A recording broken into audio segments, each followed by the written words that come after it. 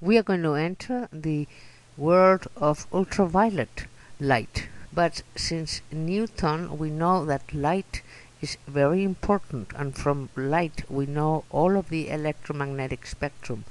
Johann Goethe gave us the meaning between the shadows and light. The shadows that border is all the colors. Then we have Hertzsprung, which in 1800 tried to measure the different temperatures of colors and instead he found out that where there was no color from the rainbow the temperature would go up 2 degrees which was infrared or the temperature would go down 2 degrees which was ultraviolet. So that that has given us the whole electromagnetic spectrum. But now it's time to enter and to find out how much ultraviolet is responsible of creating life and photosynthesis. This has been unknown or we have had fear of it and we will learn to use ultraviolet in such different ways, such healing ways because without ultraviolet there's no life and ultraviolet inside the water creates all of life.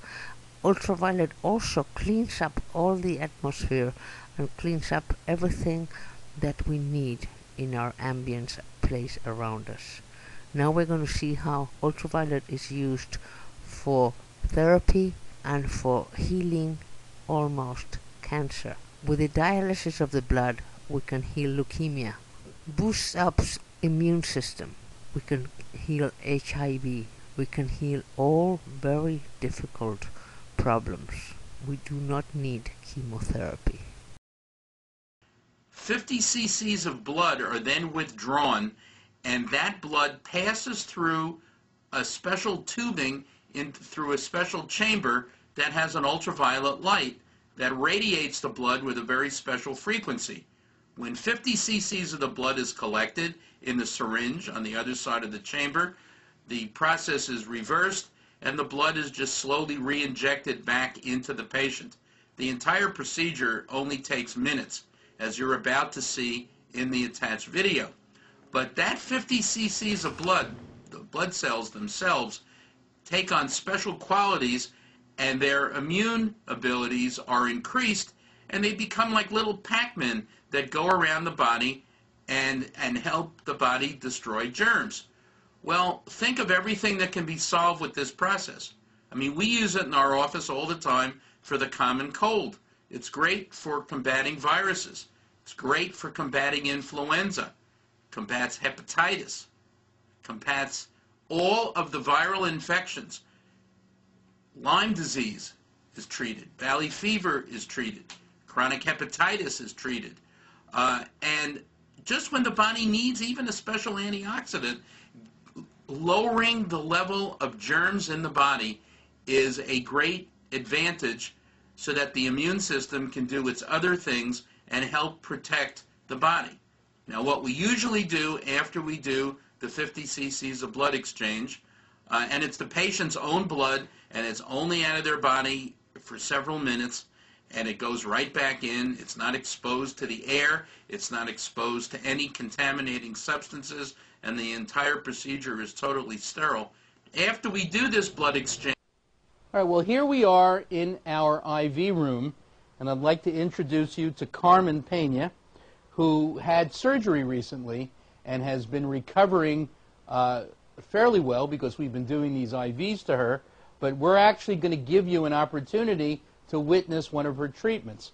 Now, the first thing we're going to do is we brought in our J.W. Meyer IV that we just mixed, and it's hanging up in the, in the IV bag, and we are about to do an ultraviolet blood radiation.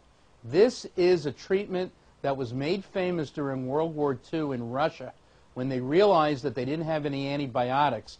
And one of the ways to kill germs and to oxygenate the body was to withdraw blood from the patient's arm, mix with a little anticoagulant, and we use sodium citrate, and the blood will go through this tube here, past that ultraviolet light, into the syringe, and then go right back into Carmen's arm, and you'll see how, how quickly and easily it goes.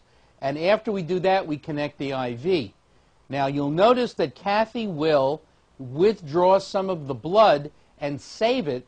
And at the end of this, we're going to show you how we mix the autosanguis therapy. And then it, after we mix it, we'll show you how we give it back to Carmen. So let's go ahead now and have Kathy start the process, and maybe you could describe what you're doing.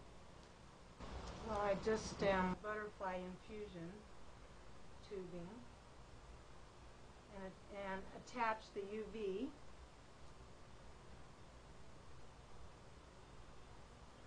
Now watch what happens there. It's interesting what happens. Here is a 50 cc syringe that has sodium citrate primed in the tube, and we're just pulling blood out of Carmen's arm with the tourniquet still on. It's going through the chamber, and it's being radiated with the ultraviolet light. That ultraviolet light is a special process where the blood is being charged with energy. And you'll see that it goes very quickly, and you, you try and fill that syringe as much as possible. How much do you pull back? About 40, but after you do this for some time, you can tell if a patient's blood is a little thick, it'll go slower. So you have you just have to go by feel as to how viscous their blood is. If you wait too long, the blood, even with an anticoagulant, will begin to uh, get thick, and it'll be difficult to put it back in. So try to get 40. Uh, but if you can only get 20 and put it back in, it's better than not doing any at all. So. I mean, we have, uh, we've actually had the experience where we end up with blood in the syringe that won't go back in because we waited too long.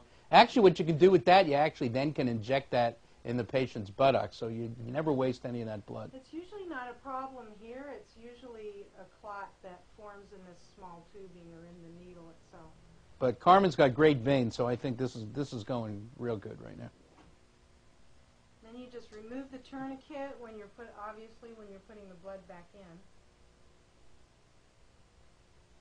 And the blood actually then will go past the light a second time. Goes past the light on the way out, and it goes past the light on the way in. And you go by feel. Right. Mhm. It'll almost go in back in by itself with very little pressure. And the less pressure you apply, the better because you don't want to damage the red blood cells. Breaking the red cells by pulling too hard or pushing too hard will will lyse them and, and you won't have any effect from their UV then. Right, you want to keep the living red blood cells going. Now, there's many different ways of doing this procedure. Some doctors actually add ozone to the mix, and I was considering getting that, but when I went back to Germany where I bought this originally, and they said it adds 5%. And, and it's kind of messy to take the blood, run it through an ozone chamber, then bubble it, and, and you have all the risks of open blood in your, in your office. This is a closed system, and uh, I mean, clearly, the less exposure you have to blood in the open, the better off you are. And uh, to listen to the experts that we've gotten this from, and I actually bought this in Baden-Baden at Medical Week at a HEAL convention about seven or eight years ago, and uh, and it's it's been used very successfully since then. And the patients report feeling well, and we see the results. So this is this is the way to go for a doctor's office. The IV sets are totally disposable, one-time use, and you can get them from the same manufacturer as the machine. All right, now you can see the blood's almost completely back in, and um, you're going to go all the way as as much as you can to empty the needle all the way back in, and then when you get back to where it's just empty, we'll plug the IV into it, and Carmen will sit here for an hour. Of course, what we're going to do also is we're going to go out and mix the autosanguis therapy and come back and give it to her.